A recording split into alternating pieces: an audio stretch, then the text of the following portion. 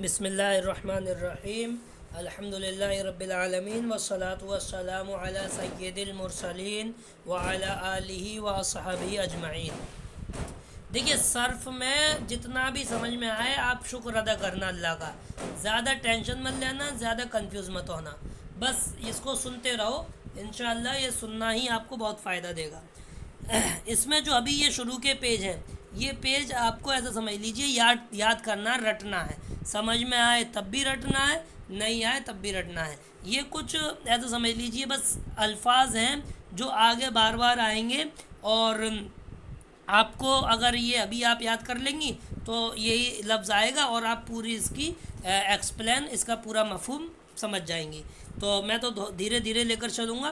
तो बस आपसे सर्फ में यही कहना है कि आप जितना आज मैं पढ़ाऊँ पूरी कोशिश करके इसको याद कर लेना। याद करने की शक्ल बहुत आसान है। आप घर के काम करें, झाड़ू, बर्तन, जो भी एक्स वाई जेड अगर करती हैं तो एक कागज़ पर ये तीन, चार चीज़ें मैं दूँगा याद करने की, उसको लिख लें, पास रख लें, अपना काम करती रहें और इसको याद करती रहें। और अगर घर की तरफ़ से आप बिल्कुल फ्री हैं तो फिर बाकायदा दस पंद्रह मिनट लेकर इस किताब को बैठ जाए और इसको रट लें।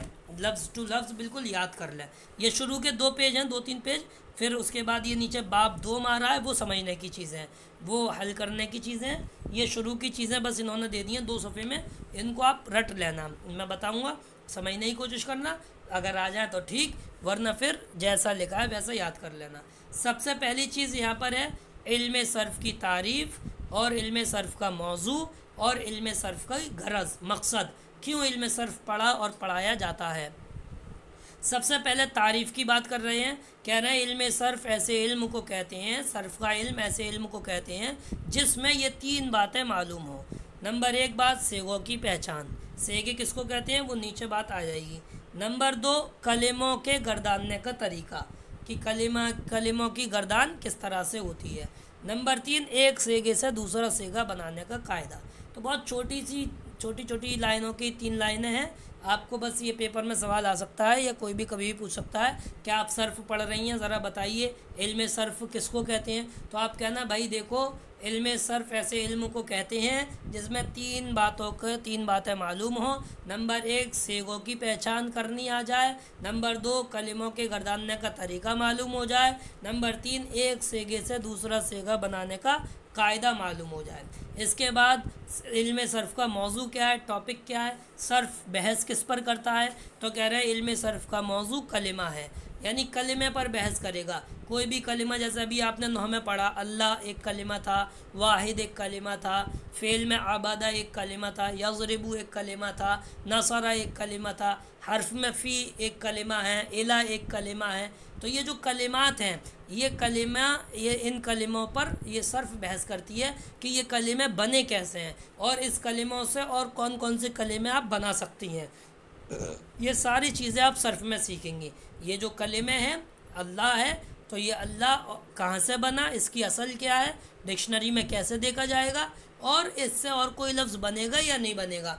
ऐसे ही आबादा, ज़राबा, नसारा, ये सब कलिमे हैं। इनकी असल क्या है, कहाँ से ये निकले, कैसे बने, डिक्शनरी में कैसे मिलेंगे, ये सब आपको सर्फ में मालूम होगा।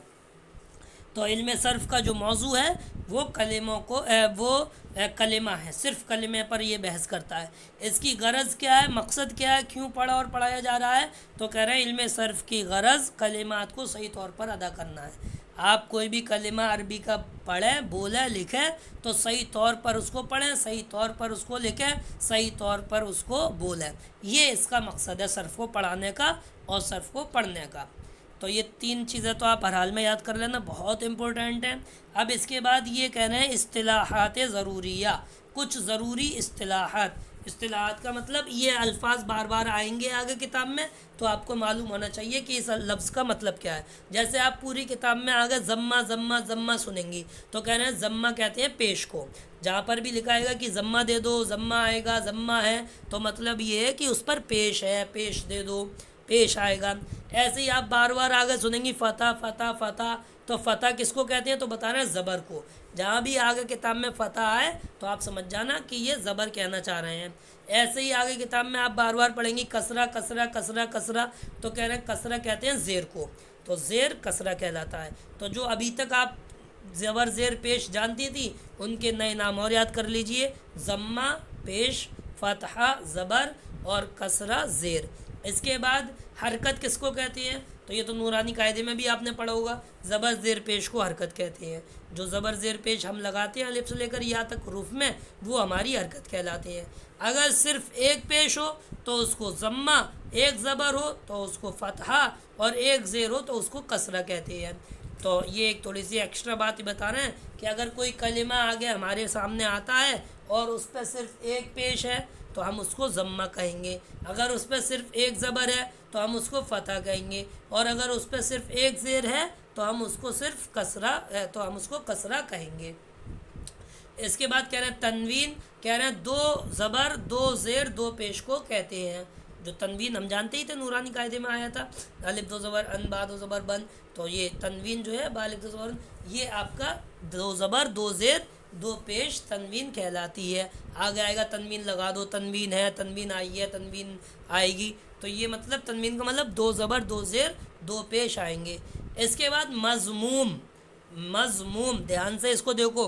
जी, जवाद, मीम और मीम, जम्मा से बनाया मजमूम। ऐसा हर्फ मजमूम कहलाएगा जिस पर पेश हो, पेश वाला हर्फ। यानी जैसे आपके सामने कोई लफ्ज़ आया, वाव वाव पेश, वो। तो हम कहेंगे, वाव, यहाँ पर मजमूम है। यानी वाव पेश वाला है। ऐसे ही मफतूह, वो लफ्ज़ जिस पर ज़बर हो, ज़बर वाला हर्फ। तो देखो मफतू फ़ाता फ़तहा नज़र आ रहा है इसमें खुद। ये लफ्ज़ आएगा तो ऑटोमेटिकली आप दिमाग चलाएँगी तो आपको पता चल जाएगा कि मफतू का मतलब फ़तह वाला हर्फ। ऐसे ही मकसूर का सारा कसरा, यानी ज़ेर वाला हर्फ। तो यहाँ तक ही रखिए। ये आप असलाहत याद कर लेना कि ज़म्मा पेश को कहते हैं, फ़तहा ज़बर को कहते हैं, कसरा ज़ेर को कहते हैं, हरकत ज़बर ज़ेर पेश को कहते हैं। अगर सिर्फ़ एक पेश हो तो उसको ज़म्मा, एक ज़बर हो तो फ़तहा, एक ज़ेर हो तो कसरा कहते हैं। तनवीन दो ज़बर, दो ज़ेर, दो पेश को कहते हैं। मजमूम, पेश वाला हर्फ कहलाता है, मफतू, ज़बर वाला हर्फ कहलाता है और मकसूर ज़ेर वाला हर्फ कहलाता है। और ऊपर ये तीन चीज़ें थी, इल्म सर्फ़ की तारीफ़, इल्म सर्फ़ ऐसे इल्म को कहते हैं जिसमें ये तीन बातें मालूम हो। सेगों की पहचान, कलिमों के गर्दानने का तरीका, एक सेगे से दूसरा सेगा बनाने का कायदा। और इल्म सर्फ़ का मौजू, इल्म सर्फ़ का मौजू कलिमा है। और इल्म सर्फ़ की गरज, कह रहे हैं इल्म सर्फ़ की गरज कलिमात को सही तौर पर अदा करना है। तो समझ